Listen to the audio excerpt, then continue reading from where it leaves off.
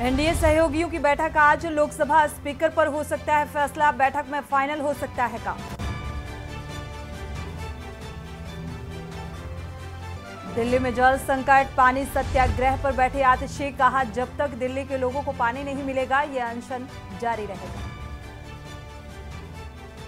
स्वाति मालीवाल मारपीट मामले में तीस हजारी कोर्ट में हुई सुनवाई। कोर्ट ने विभव कुमार की 6 जुलाई तक बढ़ाई न्यायिक हिरासत। वीडियो कॉन्फ्रेंसिंग के ज़रिए कोर्ट में किया गया पेश।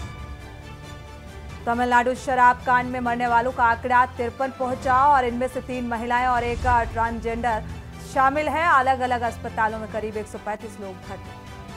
मनोज सिन्हा ने बाबा अमरनाथ के किए दर्शन। अमरनाथ गुफा में मौजूद पंडितों ने विधि विधान से पूजा अर्चन किया और उनतीस जून से देश भर के श्रद्धालु कर सकेंगे दर्शन। एमपी छत्तीसगढ़ समेत छह राज्यों में मानसून की एंट्रिया उत्तर प्रदेश को सात और आठ दिन में पूरी तरह कवर करेगा मानसून।